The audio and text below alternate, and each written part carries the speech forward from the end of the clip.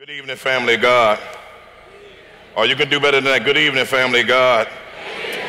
Amen. Amen. Thank uh, those who brought me here from the ERLC and the Gospel Coalition. Let's give God a hand praise for them for putting this on. Amen. Amen. Turn with me in your Bibles to Ephesians chapter 4. Stand if you don't mind, real quick. I'm reading from the CSB version of the Bible.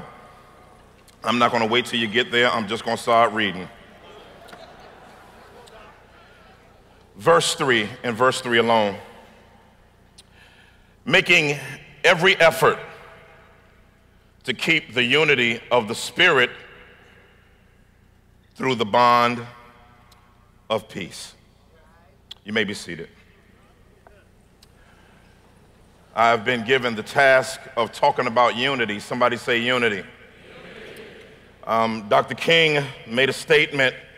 He says, In the end, we will remember not the words of our enemies, but the silence of our friends. As I have been in the world of evangelicalism for over two decades, I learned the word evangelical uh, in my intro to theology class in 1995 on the campus of Dallas Theological Seminary in the intro to theology class, and they kept using this word called evangelical. And I was trying to figure out what in the world is an evangelical. You have to understand, I come from Chocolate City, Washington, D.C. And, and, and, and in light of that, I grew up in a climate of post civil rights, post black power, black bourgeoisie, post hippie generation, uh, all the way into what we would call the original hip hop generation. And so, as I grew up in that particular milieu, I did not know what uh, evangelical was. And being the only black student in class around a myriad of light skinned brothers and sisters, I didn't find myself in careful company to communicate my ignorance, but I went on a research hunt. We didn't have iPhones and internet back then, so I couldn't just go on real quick, look it up, and act like I knew what I was talking about, like most of us do today. But what I had to do was I had to go on a search. Somebody say a search. Went on a search to look at what evangelicalism is, and as I began to see what evangelicalism is, all of the things from the historic Christian faith and its doctrine all the way into uh, even talking about justice, I was like, boom, I'm cool with that. I'm down with evangelicalism.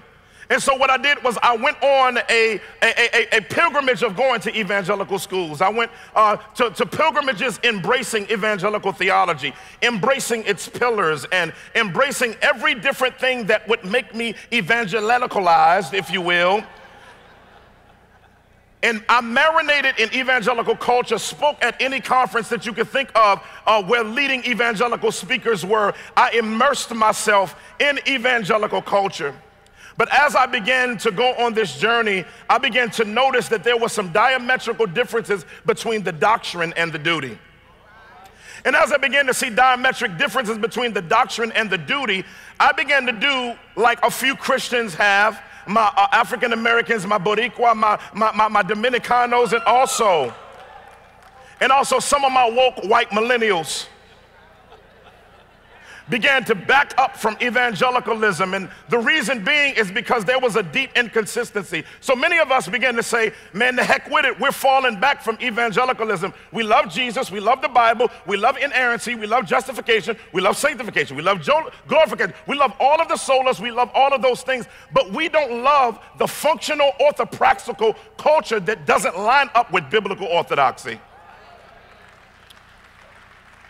And so, as I began in my mind to give up on evangelicalism, I began to read the book of Ephesians. And the gospel globetrotter himself, Paul, began to walk me through the corridors of theological excellence. In chapter one, he walked me through the triune unity of the triune clique that rose thick. He got in the latter part of that chapter and talked about intimacy. Chapter two, he talked about how every human being is tore up from the floor up and messed up and in need of the desperate grace of God.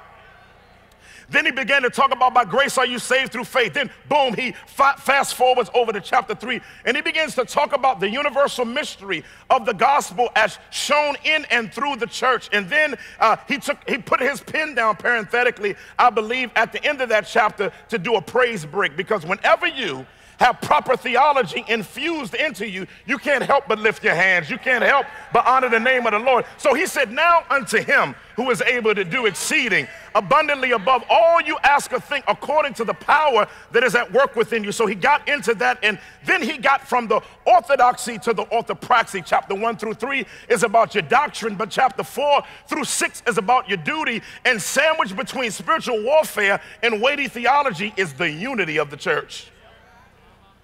So we come here to this verse, and there are unavoidable exegetical items in here that I cannot avoid even as an African American.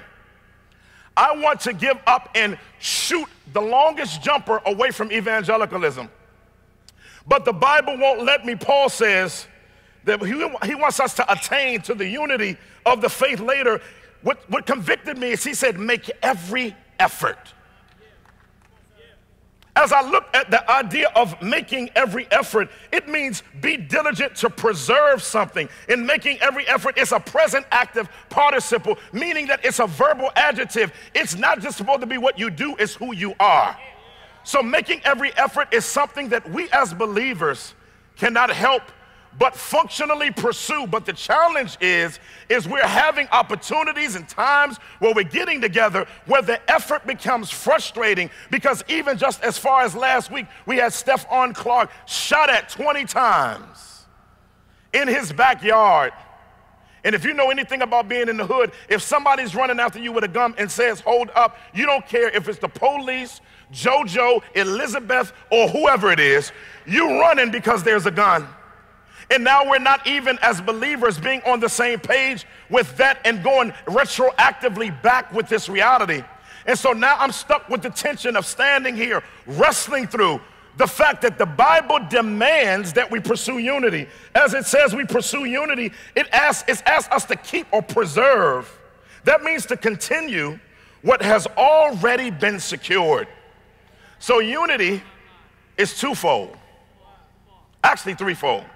Unity was secured by Jesus on the cross. Jesus will ultimately come back, wreck shop, and functionally put us in the unity that he bought us in.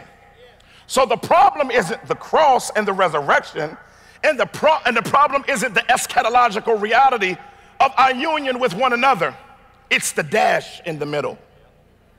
And in that dash in the middle, we have to wrestle with and fight with the reality of what in the heck does it mean for particularly black believers and white believers to fight for unity. I got a couple of things and then I promise I'm out your way.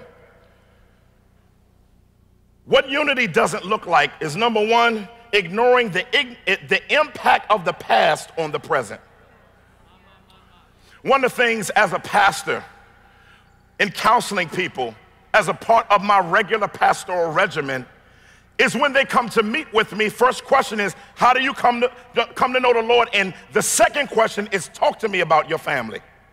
And the reason why I talk to them about their family is because I know, and many counselors in here know too well, that it's impossible to deal with the issues in this person's life unless they're saved and unless you deal with the family history that put the person that's in front of you in front of you.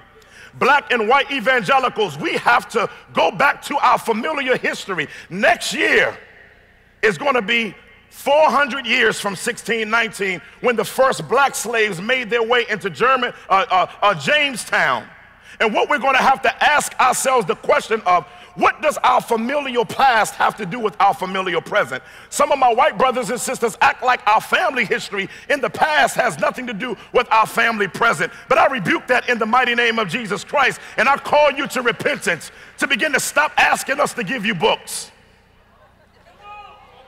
Stop asking us to do research. Listen, y'all were able to do mathematic equations through some black women, but then your own stuff, and to be able to go to the moon and put a flag in it and dance around and do the West Coast strut. How in the world can you go from the earth to the moon and you can't do research on the racial history that we need to fight in this country? I don't want to be traumatized by teaching you history. I want you to grow up in your spiritual maturity and grow up in your faith and go on the sanctifying journey of overriding the patriotic, patriotic way that we've learned history in America. We have patriotic and triumphalism in the ways that we've learned history. And so when you talk to African Americans, now you have on one side, you have a, a, a, a white frailty. Then on the other side, uh, uh you, you, you have blacks who are dealing with race fatigue syndrome. So you got race fatigue meeting white frailty. White frailty says, I, I, I, that, I, refuse to talk about that. Black, blacks on the other side, I'm sick of going back and forth with you about it. But the question is, we have to begin in our walk with Jesus Christ to say, I am not going to let the challenges of what has happened, much as I ain't feeling you. I'm gonna tell you right now, multiplicities of Negroes ain't feeling evangelicalism. But one of the things I've been, God's been working on me in my heart is that the root of bitterness sprouting up would defile many. And if I allow myself to stew in my frustration towards whites, Jesus won't be my center, my hatred will.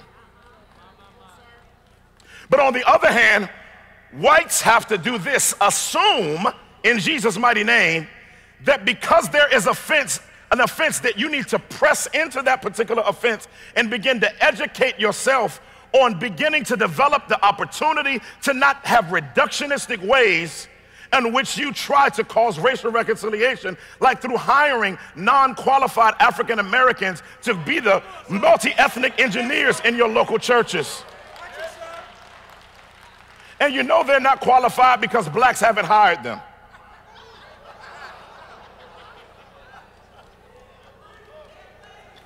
And, and, and, it works against unity when you hire somebody that we're not feeling.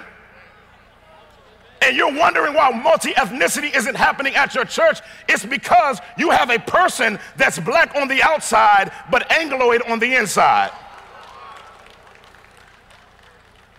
If we're going to do unity together, we have to have less reductionistic strategies and begin to get at the table and look at the glory of Christ's commitment to say, yes, we have problems. Yes, we have issues, and yes, we have frustrations. So every now and then, as these two minutes go past for me to done, it makes me go to Revelation 7.